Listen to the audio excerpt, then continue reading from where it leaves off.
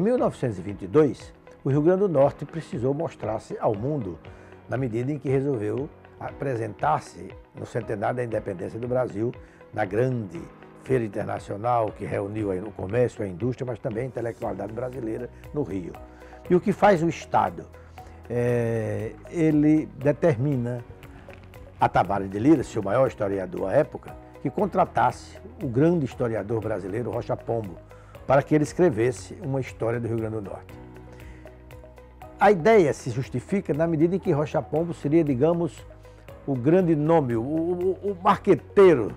né, para levar as livrarias do Brasil, aos historiadores do Brasil, ao Instituto Histórico e Geográfico Brasileiro, enfim, à intelectualidade brasileira, inclusive a Academia Brasileira de Letras, o, a história do pequeno estado que é o Rio Grande do Norte. E ele então é contratado pelo governo para escrever uma história que ele chama de História do Estado do Rio Grande do Norte e que sai publicada em, 18, em 1922, que é este volume aqui.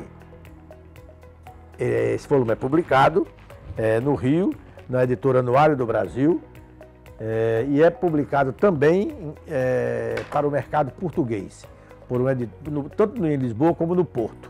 Cadernado em linho, capa dura, enfim, um belo exemplar, uma bela edição para mostrar ao, ao, ao Brasil e ao mundo de língua portuguesa que existia um estado chamado Rio Grande do Norte, as suas riquezas, a, o, seu, o seu povo, a, a, sua economia, a sua indústria, pequena indústria, enfim, mais artesanal do que industrial.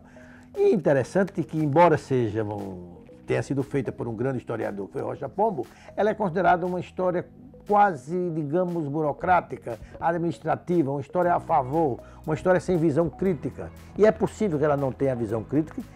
de uma história feita pelos historiadores de hoje, principalmente os historiadores da academia universitária. Mas é, de qualquer forma, um momento interessantíssimo, porque é o um momento em que o Rio Grande do Norte abre a porta e vai para o grande centro cultural do país, que era o Rio de Janeiro, principalmente em 1922 porque se de um lado você tinha a Semana de Arte Moderna em São Paulo, no Rio você tinha a grande exposição internacional que, cuja ideia era mostrar o Brasil ao mundo. E o Rio Grande do Norte passa a fazer parte disso através, com o lançamento pela editora Anuário do Brasil, da edição de sua história.